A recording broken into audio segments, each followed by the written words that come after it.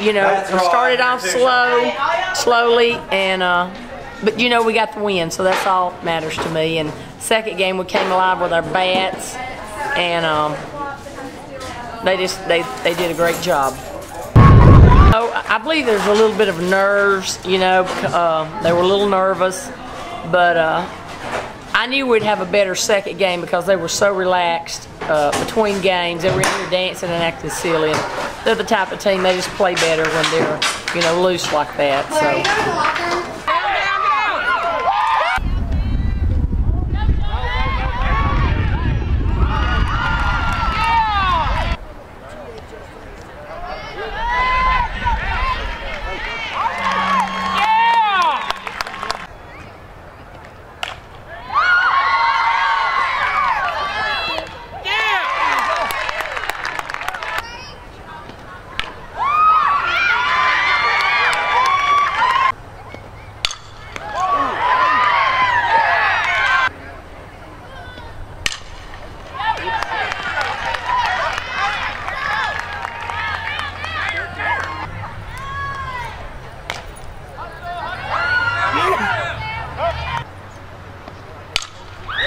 You know, we're a good ball team, and uh, we didn't really play like I expected us to that first game.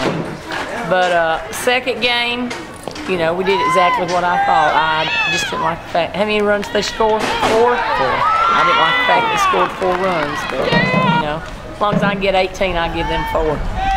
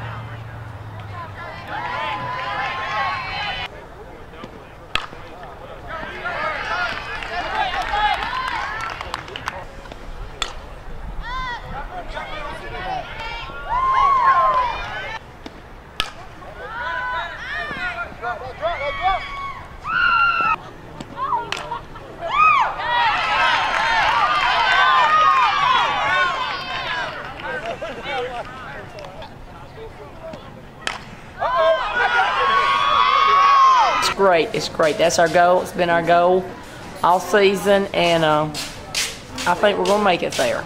We, we got to do well next week. Bremen will be a little bit tougher competition than what we faced tonight.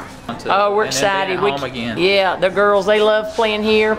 I, I've got used to playing on the road. I don't know. I seem like I'm more nervous here at home, but uh, uh, we're really excited about playing next week. And I've already heard that Bremen swept their opponent tonight, so we'll be playing them next week, next Wednesday.